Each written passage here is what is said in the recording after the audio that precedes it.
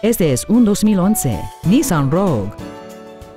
Este crossover tiene una transmisión continuamente variable, un motor con cuatro cilindros y la mayor seguridad y control del sistema de tracción en las cuatro ruedas. Sus características principales incluyen interfase para teléfonos móviles con tecnología Bluetooth, una cámara de vista trasera, sistema de encendido del motor sin llave, radio del satélite XM, una suspensión trasera Multilink, ruedas de aluminio y sistemas de control de tracción y de estabilidad.